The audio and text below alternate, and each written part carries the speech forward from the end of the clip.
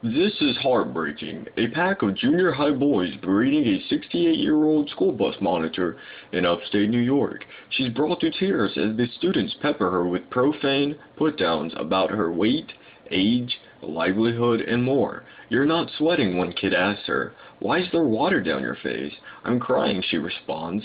She probably misses her box of Twinkies, taunts another boy. But for all the bad brought on by the juveniles comes an even better story of compassion and goodwill.